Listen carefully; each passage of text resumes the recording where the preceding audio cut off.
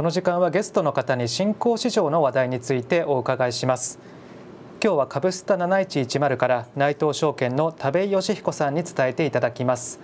田部さん今年もよろしくお願いします。あ、あのー、今年もよろしくお願いいたします、えー、番組を見ていただいている皆様もよろしくお願いいたします、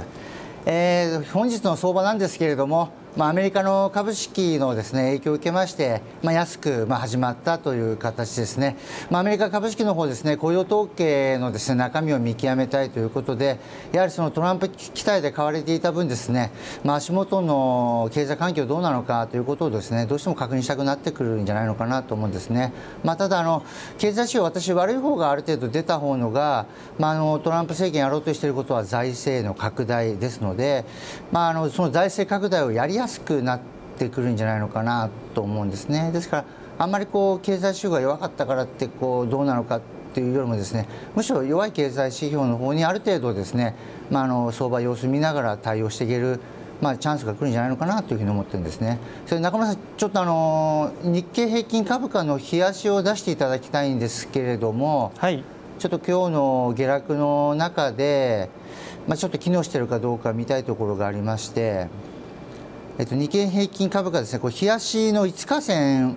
は今、表示はされてますか、ね、この緑のラインですね。あそうですね。はい、えー、このギリギリ乗ってるところが、まあ、なんとかこう5日線にですね、まあ今日機能してるかなどうかな乗ってるので、まあ、この辺をね今日あんまりこう引けにかけてまた下がっていくようですと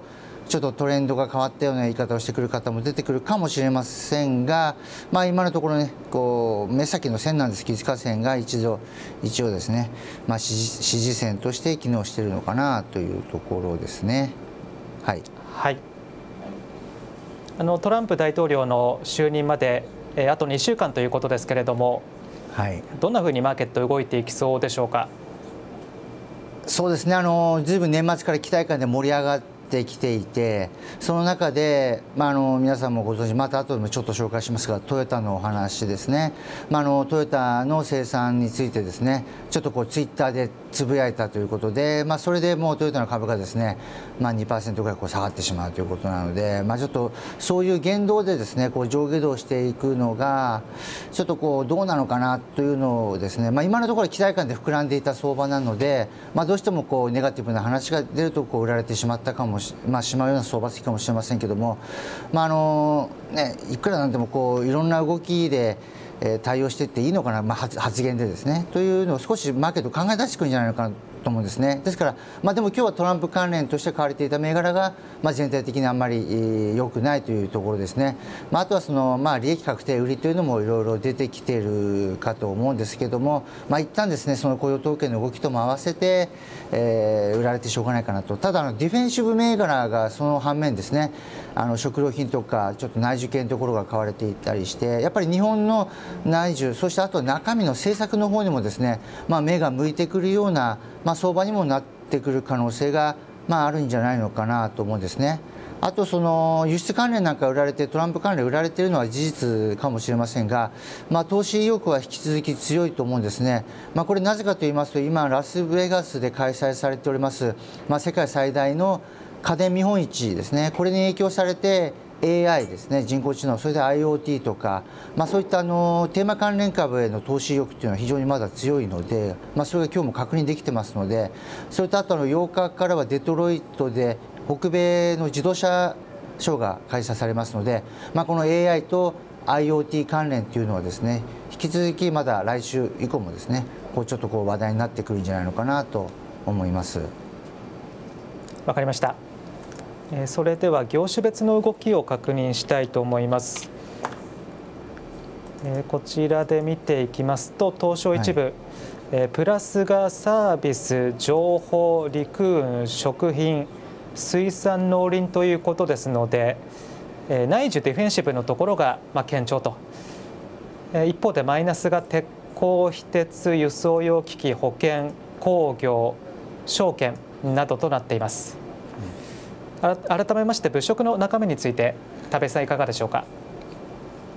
そうですね。あの売りのところで輸送機器が出てますけどもやっぱりやはりこれはトヨタの影響を受けているということで、まあ、あのメキシコでのカロラドの生産工場の新設計画に対してちょっと批判的なまあ、発言をしたということですよね、まあ、ただあのトヨタの工場は、まあ、テキサスとかですね、まあ、もちろんアメリカ本土内にもありますし、まあ、世界中に散らばっているといえば散らばってますので、まあ、あの生産規模をですね、まあ、あの他国へ振り分けていろいろ対応もしていけるとは思うんですね。まあまあ、でもそこでトヨタがじゃあ生産変えるのかというところもあるんですけれども、まあ、でも今度トヨタ側の動きによって今度はまた違う動きも出てきたりする、まあ、可能性などもありますので、まあ、ですからね一回こう出た話でこうなんなんていうんですかねあのー、すぐにこう投資判断をつけていくのはどうなのかなというところですね。と思いますそれとその他のところではあの6754の安立が今日動いているんですね。この安立に関しましてはまあ、中国通信大手3社がですね、まあ、2020年までに、まあ、約5兆円規模で、ま、第5世代第5世代の通信網を整備するというふうに報道されました。まあ、あのこの関連銘柄としての期待感でこれも上がってきているということなんですけどもやっぱりそのテーマ物色されているからこそこういったものでこう上がってくるということですね、まあ、このこの 5G と言われてますけども第5世代の通信網のところですね、えー、この安立のほかサイバーコムとかですね、まあ、アルチザネットワークスとか理系とかあるんですがまあ、そういった銘柄なども順次こう買われているという状況ですね。やっぱりこうテーマにこう沿ったものでえ少しずつ相場の流れが変わっていく可能性が今後あるのかなというふうに思ってます。はい、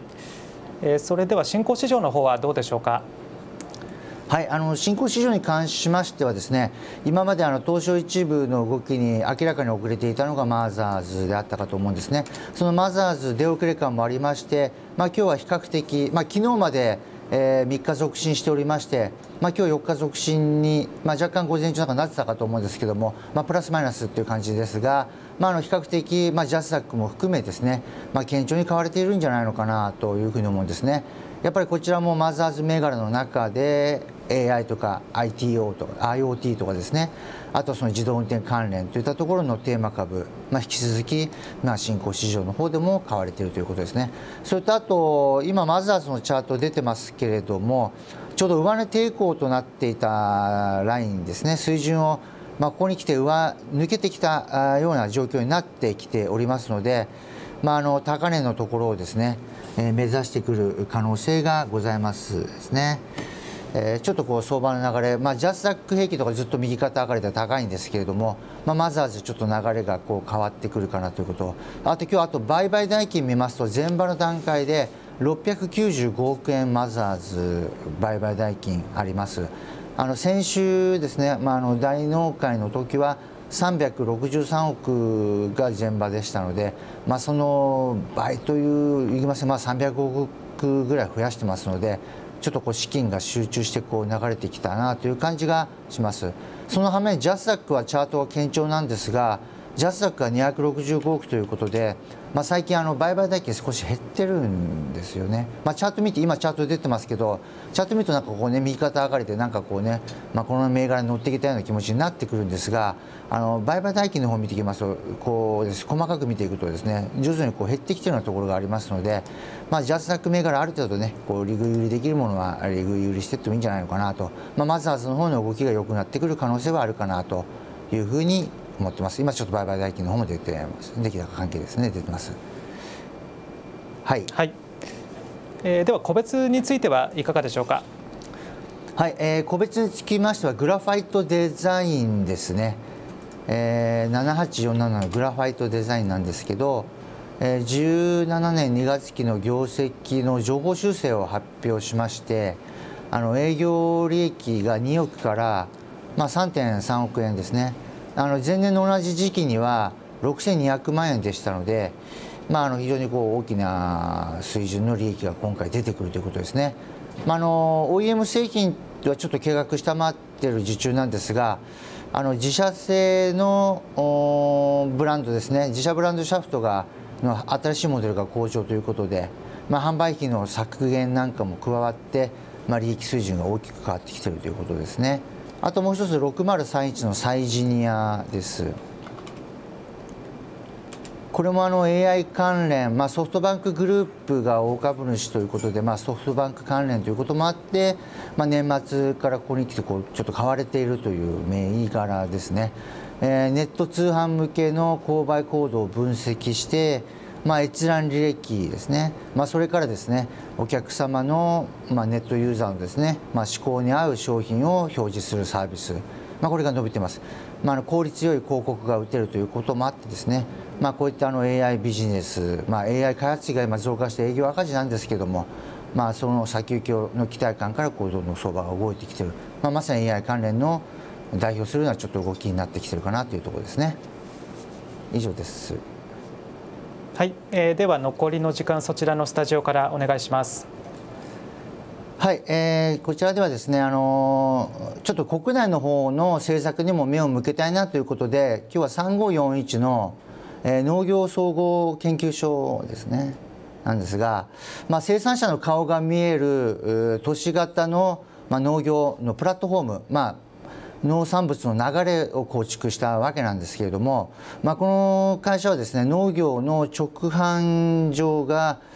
えーですね、スーパーマーケットの、まあスまあ、配送センターがあるんですけどそこに直接こう持っていくという形ですね。でこのスーパーマーケットの配送センターにどんどんどんどんもううちも持ってきてくれということで仕事が忙しくなってきているという状況。それで登録する農業の方ですね生産者の方はですね、まあ、大体今期17.8期なんですけども約7000名ということで、まあ、1200名からこう人を増やしていくということで、まあ、農業を関係者もですねどんどんこの農業総合研究所にですねどんどん作った農産物を納めるということですねそれスーパーマーケットに実際並ぶ時には生産者の顔とか住所とかが載ってですねあこういうとこがこういうところで作られてるんだって安心してこう買える、まあ、新しいこの農業の流れをこうどんどん作ってきてるんじゃないのかなと思うんですね。それ足元業績あの販売店舗数もあの生産者数ともに予想を上回ってますので、まあ、業績ですねちょっとこう利益の出方が慎重なんですけども、まあ、上振れる可能性あるのかなと思うんですねそれチャート見ていただいても一旦ちょっと買われて少しこう調整入ってきたところですので、まあ、この辺前回高値と同じようなところに合わさってきてますから、まあ、この辺からですねちょっとこう上をまた目指していくような状況にもなってきているのかなというふうに思ってます。えー、中村さん以上です。